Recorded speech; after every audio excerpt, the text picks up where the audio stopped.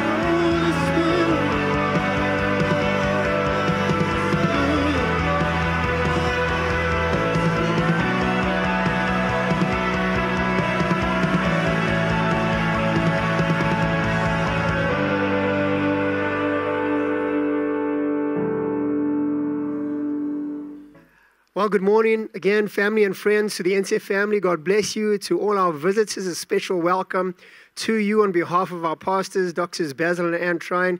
Thank you for connecting with us this morning. We don't take it for granted.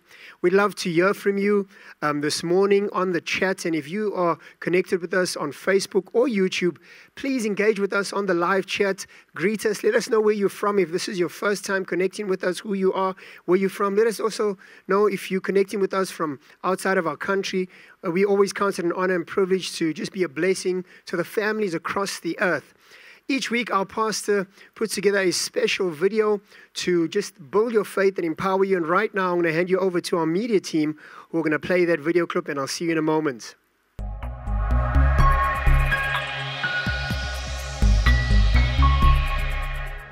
Jesus is the author and the finisher of our faith. We must receive the end of our faith. I mean, just think about this. There's a storm at sea. Jesus comes to them walking on the water, walking on the storm, and they receive him into the boat. And as they receive him into the boat, immediately the boat and the disciples are at the end of the journey, at the other side. So, this is a powerful, powerful miracle, but it is speaking about us receiving Jesus Christ into our lives. And when we receive Jesus Christ into our lives, our lives is the boat. Immediately, we are on the other side. Dear family, Jesus is on the other side. And our boats, if they have Jesus on the inside, are on the other side.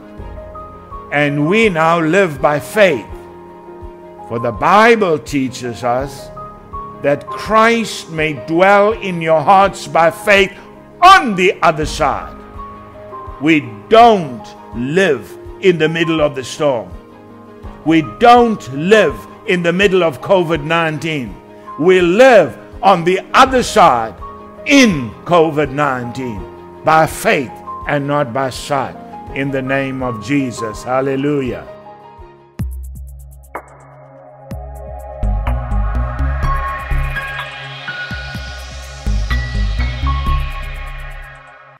Well, bless God, family. That clip will be available tomorrow on all our pastors' social media platforms. You can download it and share it, whether it's on Facebook, on Twitter, Instagram, or YouTube. And we encourage you to follow our pastor on his social media platforms as well. His handle is on the screen right now, and you can follow him just to um, be blessed every day. He posts something encouraging, posts something to build your faith, posts something to be a blessing to you. And so please do follow. Also, follow just to keep up to date with what is going on in our pastor's ministry, what is going on in our church, um, what we're involved with. And uh, you will see that on those platforms. Now, me, we meet like this every week on a weekly basis.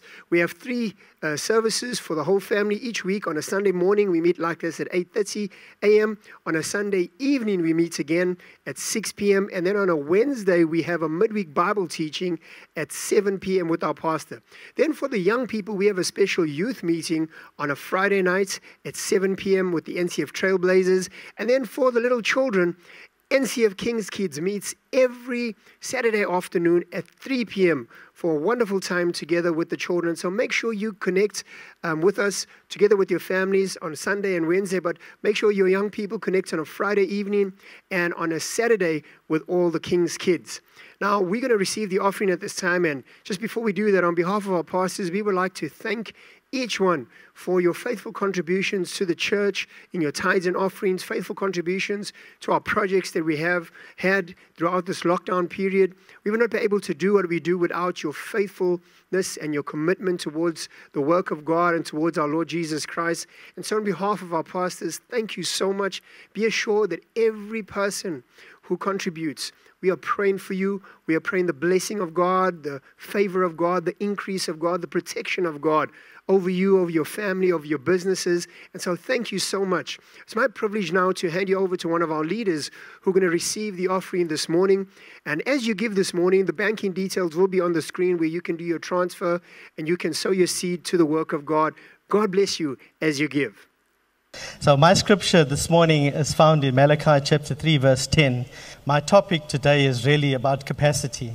And as Dad begins to minister more uh, to us about capacity and faith and how to increase this capacity, um, as we go back to various scriptures, we start to look at it and certain things start to jump out. uh, and this morning, church, we're talking about tithes and offerings, so I'm not steering away on another, another topic. But Malachi chapter 3, verse 10 says, Bring ye all the tithes into the storehouse, that there might be meat in mine house, and prove me now herein Herewith says the Lord of hosts, if I will not open you the windows of heaven and pour you out a blessing, and the last part of it says that there shall not be room enough for you to receive it. Dad's been ministering to us on capacity in the last few months, and he mentioned something, a statement, and he said, it's in terms of receiving, how big is your cup? In terms of it. Some people might have, as he said, the English one, the little one, then the cumber, and then he spoke about the big bowl and so forth. But Malachi 3, verse 10 says that there shall not be room enough to receive it. Meaning, in my understanding of it, is that, church, as we partake of tithes and offerings this morning, Malachi chapter 3 is loaded for you and I very loaded in terms of it. And I never saw it this way that God is saying that when you, church, bring your tithe into your storehouse, which is our man of God as we understand, He's going to open up a blessing for us. And we know, church, it's not about money. Dad tells us it's more about the blessing. But you know, Dad's book, his first book he wrote was Tithing, the Gateway to a Life of Abundance. And as I start to to reflect and do retrospection on my life, I'm very, very interested in the tithe because I know there's many people out in the world that are doing offerings and so forth. They're not involved in the kingdom of God. They're not in this glorious light. They're not doing it for Jesus. But they are ex- experiencing and sowing into the principles that are getting them this wealth. But I say, church, and I look at it, if you're not a tither this morning, you're on shaky ground in terms of it. So if you want to, Dad made, made many statements along the years, and he says, don't put the cart before the horse. Don't throw the baby out of the bathwater. Meaning, you, you, you might look around and you look at many people that are prospering in the house of God, and, and you see so many things that are happening. But, church, it, it has to start somewhere. You have to start from A before you get to Z. So, in terms of this whole thing about tithes and offerings, is that God tells us, and I'm not saying it to you, church, it's there. You go and read it in Malachi chapter 3, verse 10. Isn't it interesting that why would God even say in that verse that He, the Lord of hosts, so he's getting very serious when it comes to this area of tithes. He wants to war on your behalf eh, in terms of it. So don't take this area of tithes lightly, church. It's, it's something that's sacred. It's very serious. And isn't it interesting that our man of God has chose to release, and I think it could be his first book, but even if it's not the first book, church, tithing, the gateway. So when he speaks about a gateway, it, it, there's a avula gila masanga. It's the, the, the gates. Ooh, I'm even talking Zulu now, Dad. It's coming. Hallelujah. I'm not talking in tongues, church. So, church, isn't it interesting? How many times have we read Malachi chapter 3, verse 10? And sometimes we might just think of it and you're taking it very lightly. It's because it's something that many people will come and minister on this topic. But for me, it's so precious that I always find myself going back to this very scripture. And Dad, I love it because the more revelation you release to us, as we go back to the scriptures that we love and we desire, it has so much meaning. There's more revelation that's jumping out of it in terms of it. So, church, know that this is the start, this is the gateway. If you're not involved in the area of tithes and offerings, I appeal to you. God says there's life and there's death. In terms of it, it's better to choose life eh, in terms of it. So, in his scripture, he's saying that if you want to begin and embark on this journey of success and really wanting to enjoy the fruitfulness and the, the, the many mysteries that God has got for us, don't put the cart before the horse. Start where you are at church because this is the key to unlock the door. Amen.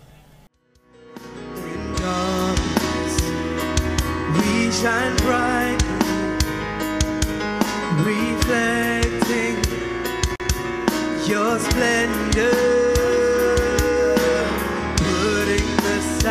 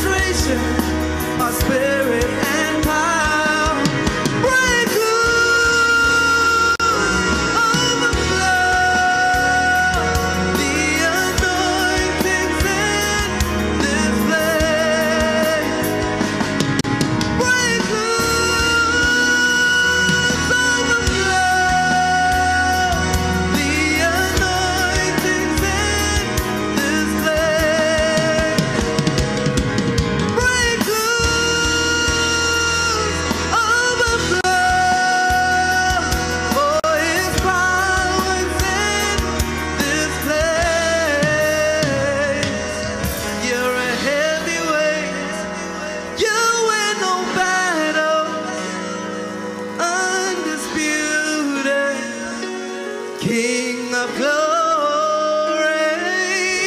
Your majesty is what we seek to see. You take away the veil.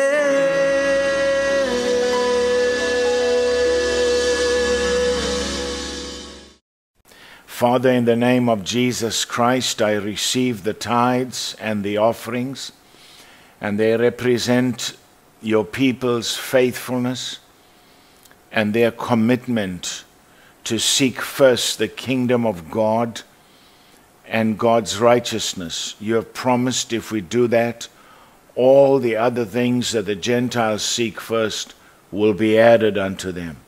And therefore, Lord, I return thanks and release the blessing of God according to the order of Melchizedek, that the Lord multiply you and the Lord increase you and the Lord supernaturally provide for you. We pray these mercies in Jesus Christ's wonderful name. Amen. Well, we're going to receive the word of God at this time. It is my privilege to hand you over to our pastor, Dr. Basil Tryon. But before we do that, please get your notepad, get your pen, get your Bible, get your electronic device, and let us do our faith declaration together at this time.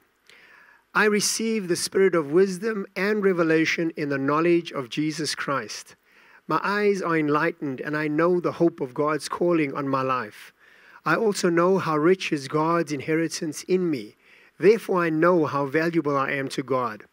I know the exceeding greatness of God's power as I totally identify with Jesus Christ's death, burial, resurrection, and ascension. I've been made alive together with Christ, raised up together with Christ, and seated together with Christ in heavenly places. Today I'm filled with the knowledge of His will, in all wisdom and spiritual understanding. I am strengthened with might by His Spirit. Jesus Christ lives big in me. I'm rooted and grounded in God's love. I'm filled with all the fullness of God. God's power and love work in me, exceeding abundantly above all I've prayed for and dreamed about. I'm very prosperous in every area of my life. Therefore, I declare that my whole life, all that I am, all that I do, and all that I own brings glory to my Lord Jesus Christ. In Jesus' name, I'm blessed and filled with the life of God. Everything I do prospers, and I'm increasing in every area of my life. Amen. Good morning and a warm welcome to the services this morning and tonight. Moyen and I send our fondest love and greetings to every one of you. We will review uh, our public gatherings at the end of this month in another week or two, and we will come back to you. We are trusting God to be able to get back to have our services together, even if it is in a new or under a new norm.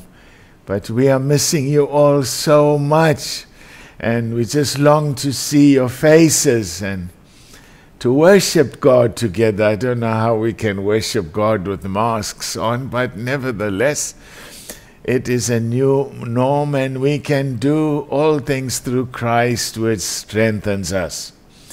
Well, this morning we're going to continue on what the disciples encountered last week when Jesus came walking on the water in the middle of a storm. It was after Jesus had fed 5,000 men, and it was more than 5,000 because if their families were there, it could be anything over 10 to 15,000. And with five loaves a boy's lunch, and they saw the multiplication of the loaves, a, a, a tremendous miracle of multiplication. And that shows us that Jesus Christ wants to multiply our resources for sowing. And then they wanted to take Jesus and make him king. And he went into the mountain to pray. And then he, the, he had sent his disciples to go over onto the other side. The ship was in the midst of the sea, and there was a storm. And he came to them walking on the storm, walking on the water, walking on the waves. John records it. He says, Immediately Jesus said, be, be, Don't be afraid, it is I. And the Bible says, When they received him into the boat, then immediately the boat was on the other side. We shared a bit with you uh, last Sunday morning. If you haven't watched that, you can watch it again on YouTube or on Facebook. This morning, I want to talk to you on the question they asked Jesus because they had seen the loaves multiplied. They recognized that this is a work of God. They had seen him walk now on water. They had seen him make a journey in the middle of the sea, in the middle of a storm, that he can override that storm and the boat could experience a miracle with the disciples on getting onto the other side immediately. These are such tremendous miracles that need us to just slow down and meditate and see the pictures here of what actually was happening. So they asked Jesus, and I want to read that to you and talk to you a little from the heart of God. They asked Jesus, What must we do to do the works of God? So they saw Jesus do the works of God. Everything that Jesus taught, he actually lived it. And then they watched him pray, and then they said, Teach us to pray. They watched him do the works of God, then they asked, What must we do to do the works of God? So Jesus Christ is our prototype, our example. So I want to read John 6, verse 28 and verse 29 and we're talking to you about working the works of God and particularly believing. Believing. Very powerful. John 6:28 Then said they unto him, What shall we do that we might work the works of God? Jesus answered and said unto them, This is the work of God that you believe on him whom he had sent. Believe on Jesus. Believe on him, the, the God, the works of God. God sent Jesus to do the works of God. Believing on Jesus is doing the works of God. Let us pray. Father, in the name of Jesus, thank you for the Holy Spirit that is a great teacher illuminator and revelator of the Word of God. I pray you will teach through me, with me, and that you'll help your people to mix faith with their hearing, that the Word of God would profit everyone. We pray in Jesus' precious name. Amen. I've come to realize that most Christians, let alone unbelievers, don't know the difference between belief or believing and faith. And I want to share that with you because that is what Jesus said believe. Believe. This is the works of God. You believe on Jesus. And we need to know what is the difference between to believe and to exercise faith. Let me begin by sharing a personal testimony with you this morning. Approximately 44 to 45 years ago, I was an alcoholic and a drug addict, and I was suicidal. And uh, Anne, Anne was very instrumental in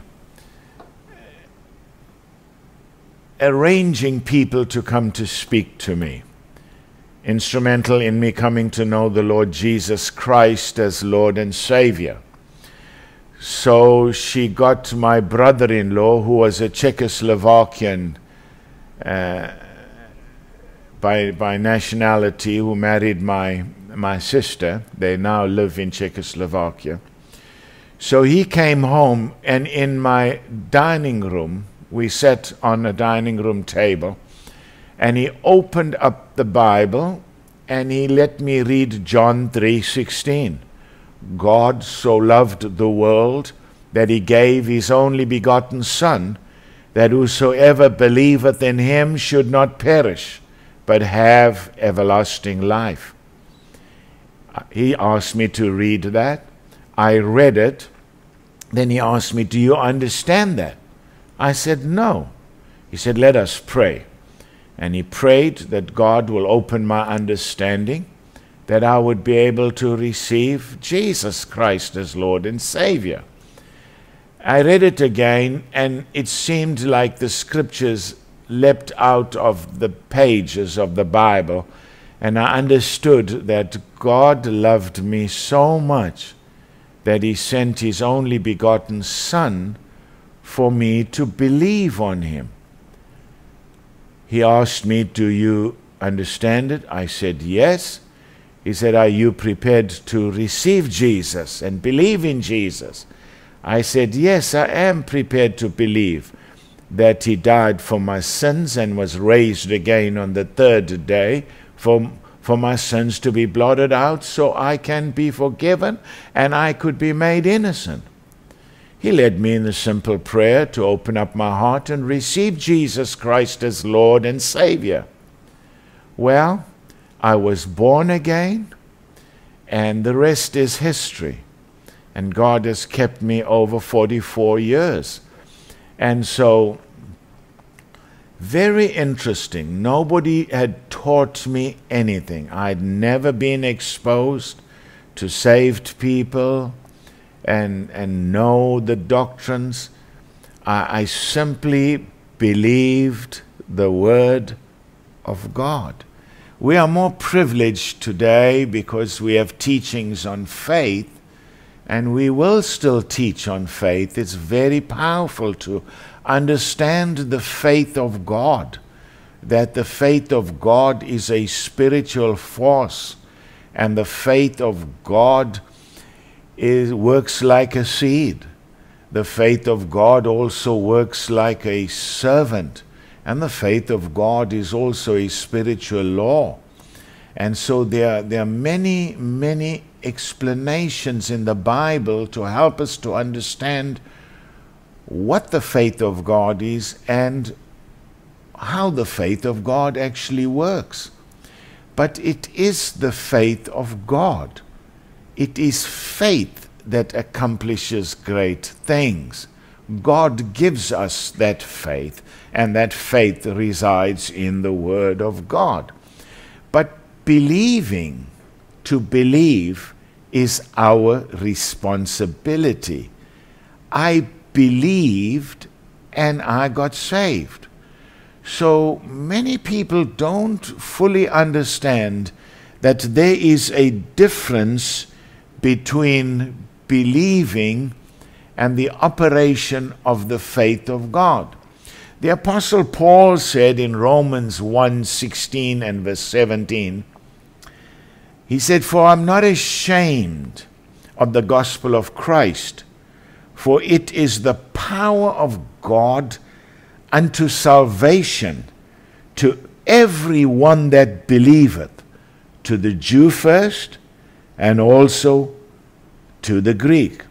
Then he says, For therein, in this gospel, is the righteousness of God revealed from faith now, no more from believing, from faith to faith, leading you to a life of faith. That's what it is mean means as it is written, the just shall live by faith. And so you see here in this verse of Scripture, first of all, the Word of God is preached to us. Then we believe with our hearts, and that is how we receive the Word of God. We actually conceive the Word of God by believing the Word of God.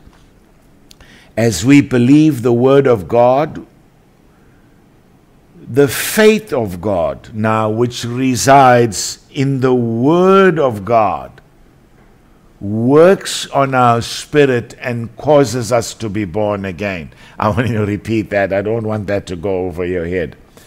Somebody preaches the Word of God, you believe the Word of God, that's your responsibility to believe. When you believe the Word of God, then you're actually mixing faith with your hearing. Then faith can work you with your belief. Then the door gets opened into the realm of the spirit where the faith of God operates in your heart through your believing with your heart. And the faith of God, the most powerful force in the universe, causes your human spirit, which has the nature of Satan, to be born again the righteousness of God. The faith of God causes that, but the faith of God works with your believing. And that is so powerful for you to understand. The faith of God manifests the glory of the Word of God manifested also for a believer. When we believe the Word of God, then we live by the Word or we do the Word of God. Very important. When you believe the Word of God, then you live by the Word of God. Then you do the Word of God. According to the Bible, a believer is a doer of the Word of God. I'm going to make a statement here now. It'll shock you. If you don't do the Word, you don't believe the Word of God. If you don't do the Word of God, you have not yet believed the Word of God. Under all we say and do lies what we believe. If you want your life changed, you must change your beliefs. Everything you experience in your life is somehow linked to what you believe. If you are poor and live in insufficiency, then you have beliefs of insufficiency in your heart. If you are sick and continually living in sickness and cannot be healed, even though you're a Christian, you don't experience healing, then you're going to have to go below what you think and say and examine what you believe. What you believe. And so, if you're an angry person, forever getting angry, then you got angry beliefs. If you raise your voice every time you're upset, then you must know there's certain beliefs like you think if you raise your voice, your point will be heard more. That can be a belief in your heart. And it's a wrong belief. So, dear friends, your beliefs are absolutely important because your beliefs determine the outcome of your life. Where did you get your beliefs from? You got your beliefs from your parenting, you got your beliefs from your life experience, and you got your beliefs from your environment that you grew up in. And so when you get saved, God gives you a new heart, a brand new heart. God quickens your spirit and He causes you to be born again. You get a brand new spirit. And then God also puts His spirit within you. And then God causes you to walk in His statutes. Let me read it in Ezekiel 36, verse 26. Ezekiel 36, verse 26 A new heart also will I give you, and a new spirit will I put within you. And I will, I will take away the stony heart out of your flesh, and I will give you an heart of flesh. And I will put my spirit within you and cause you to walk in my statutes, and you shall keep my judgments and do them. So you see, friends, when you believe from your heart, in fact, the Bible doesn't say you believe from your spirit, it says you believe from your heart. But when you believe the Word of God, God gives you a brand new heart. It is not the physical organ. The heart is your internal core of your spirit and soul. I call it the Garden of Eden, is your heart.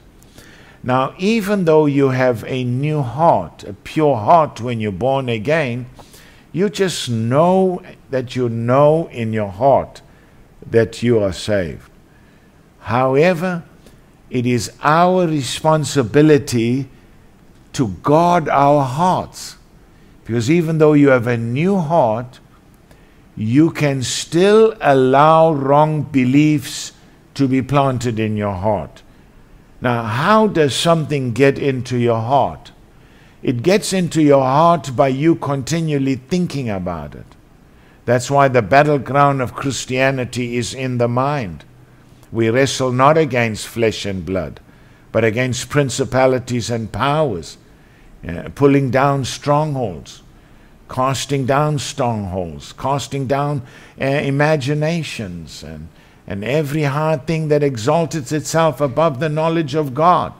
So now you cannot stop thoughts from coming through your mind, but you have the power of choice because you know the consequences of negative thoughts, not to entertain them and let them go. Because they'll come through and let them go unless you choose to continually think about these thoughts. If you continually think about thoughts that are contrary to the Word of God, that are negative, then a stronghold gets built in your mind. You have imaginations, your perceptions are shaped in your mind. But then, as you continually think like that, those thoughts get sown into your heart. And then they become a belief in your heart. And Jesus said it like this Every tree that my Father has not planted will be uprooted. So I really believe that he's speaking about wrong beliefs, beliefs that are contrary to the kingdom, beliefs that are contrary to living a life of superabundance, living a life of righteousness, peace, and joy in the Holy Ghost, living a life of total life prosperity. And so there must be an uprooting of the other old beliefs and a planting because the heart works like the field. It will grow whatever is planted in there. And so in Proverbs chapter 4 and verse 20, the Bible teaches us that we must guard our hearts. And I want to read it to you. You guard your hearts. Proverbs 4:20 My son attend to my words and you see you give the word of God attention now because you understand that from the word of God is going to come a belief system within you, in your heart. You incline your ear unto my sayings. Let them not depart from thine eyes. Keep them in the midst of thy heart. Then he says, For they are life unto all those that find them, and health to all thy flesh. And there's a powerful instruction. Keep thy heart, guard thy heart with all diligence, for out of your heart flow the issues of life. For out of it are the issues of life. Everything about your life is being shaped by what you allowed to go into your heart. And so we are custodians of our heart. In Hebrews chapter 4, speaking about the children of God in the wilderness, uh, the word of God did not profit them. So they wandered in the wilderness, land of just enough. They couldn't go into abundance. They wandered there for 40 years, an old generation perished, and a new generation uh, took uh, them into the land flowing with milk and honey. And Paul says, Let us therefore fear, lest a promise being left us of entering into his rest, any of you should seem to come short of it. You see, God doesn't want you to come short of the promises of God. Then he says, For unto us was the gospel preached, as well as unto them. But the word did the word preached did not profit them, not being mixed with faith in them that heard it. Then he tells us in verse 3 For we which have believed do enter into his rest. You see, your belief. The faith did not wasn't able to work because they didn't believe. But we which have believed do enter into rest, as he said, as I've sworn in my wrath, if they shall enter into my rest, even though the works were finished from the foundation of the world. Think about this. The works of God were finished from the foundation of the world, but they could not enter into the rest of a finished work because they did not believe.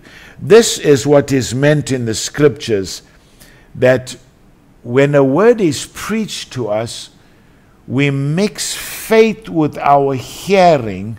How do we do that? By believing the word of God. When we believe the word of God, we receive the word of God. We conceive the word of God into our hearts. That is how we say amen to the promises of God in our hearts. It's very important when the word of God is being preached to you for you to believe the word of God. Hallelujah. And the way you believe, you're going to say amen from your heart. There's going to come an amen in your heart. In 2 Corinthians 1 and verse 18 to verse 20. But as God is true, our word towards you was not yea and nay, was not yes and no. The word of God that we preach is not yes and no. For the Son of God, Jesus Christ, which who was preached among you by us, even by me and Silvanus and Timotheus, was not yea and nay, but in him was yea. So the word of God is not no to you. And when the word of God comes to you in Christ Jesus, it is always yes for you. Then, verse 20, very powerful. For all the promises of God in Him, in Christ, are yes, and in Him, amen, unto the glory of God by us. Now, we often think that that means it's yes and amen by God. No, it's yes by God, but it's amen by you when you believe it. The TPT translation says, For all the promises find their yes of fulfillment in Christ. So Christ has fulfilled the promises of God. And as his yes and our our amen, our amen, ascend to God, we bring him glory.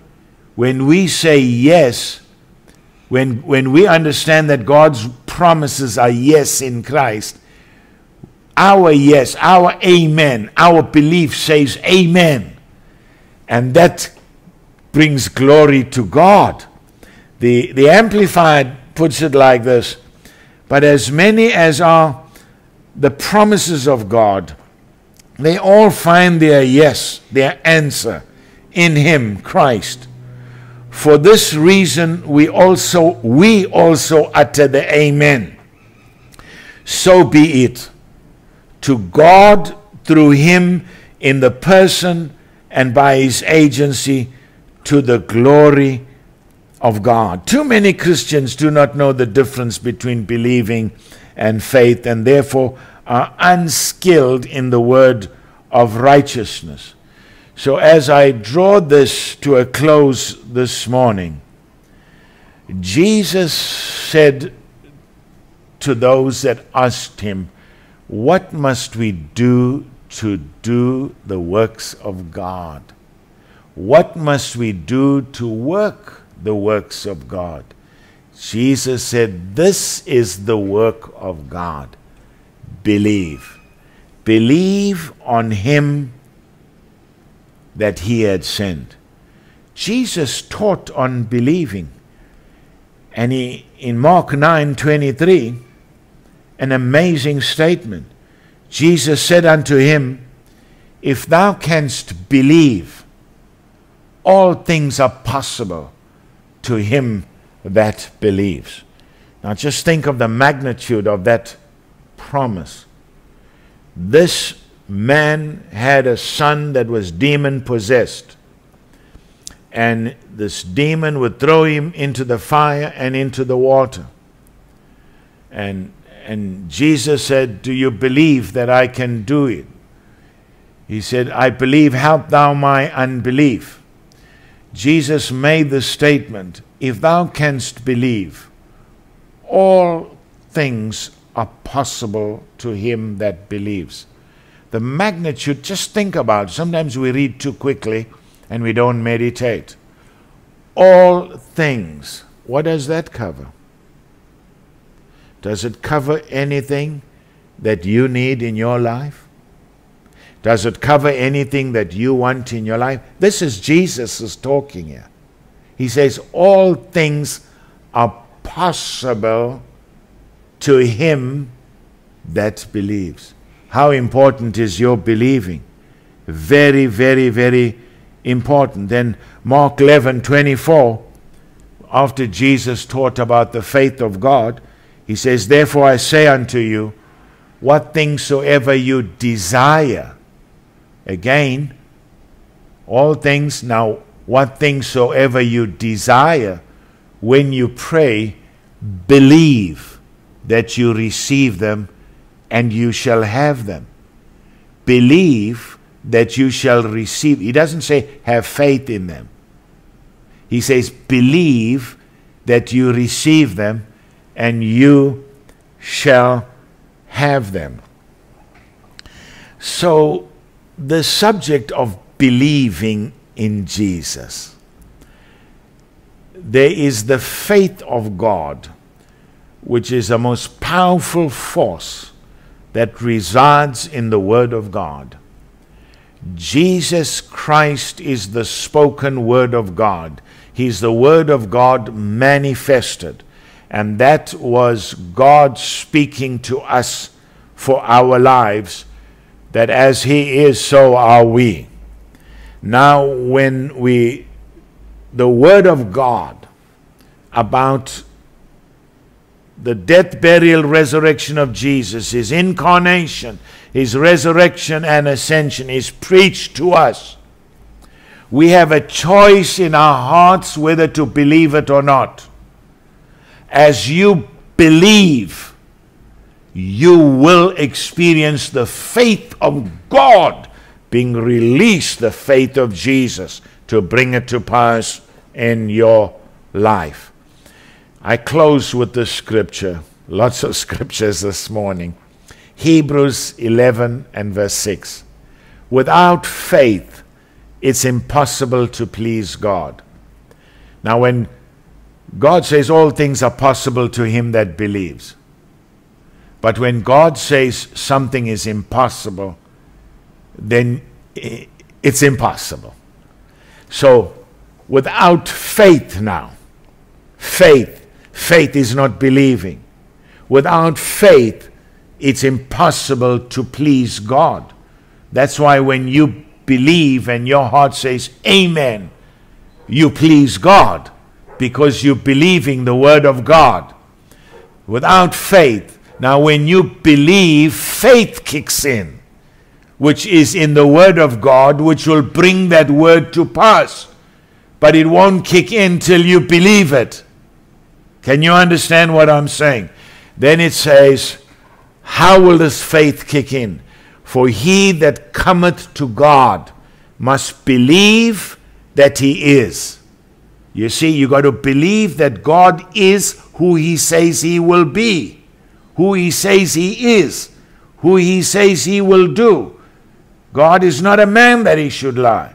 You believe the word of God is the highest level of authority in your life. He that cometh to him must believe that he is God.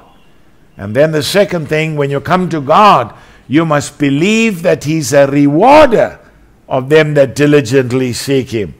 Your beliefs must be ones of reward from the Word of God. Now, when you believe He is, you believe in the isness of God, you believe that God rewards us, He rewards our beliefs. We mix faith with our hearing, and then the faith of God, which is a servant of God and the believer, will bring all that to pass in your life. I believe with all my heart the Word of God has been rich in understanding. I close with the statement faith is a noun, believe is a verb. A noun is the name of a person, place, or thing. A verb is a doing word. The faith is a faith of God. The faith is a faith of Jesus. It's a force that created the universe.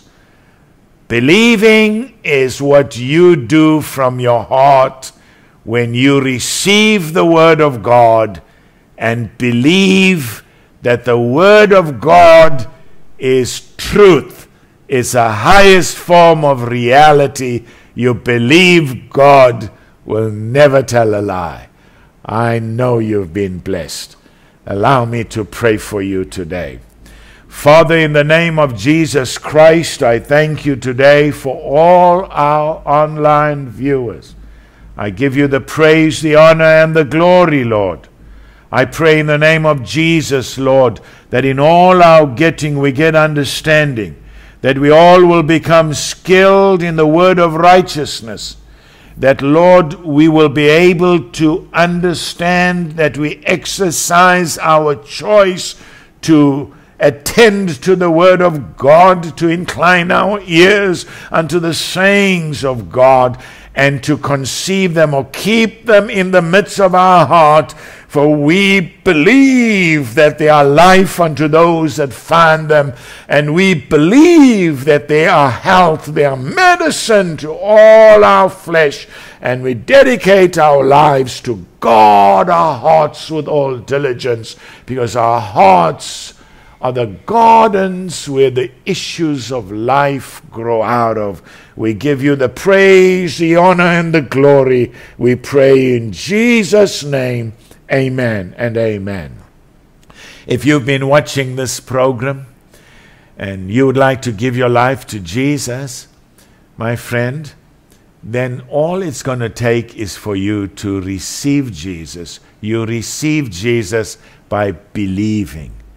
What do you believe? You believe He died for your sins. You believe He was raised again on the third day and you believe that you receive Jesus and you are saved. So say this prayer after me. Say, Dear Lord Jesus Christ, I believe you died for my sins. I believe you rose again on the third day. I confess you with my mouth as my Lord and my Savior. Come into my heart. Be the Lord of my life. In Jesus' name. Congratulations if you said that prayer, you're born again. There are names that are coming up on the screen. Make sure you take a picture and you phone one of our pastors and they will pray for you. Welcome to the family of God. Church, I'll see you tonight at 6 o'clock as we continue to teach you the difference between believing and faith. It's vital. Don't miss that service. God richly bless you. Have a great day with your family. Bye bye.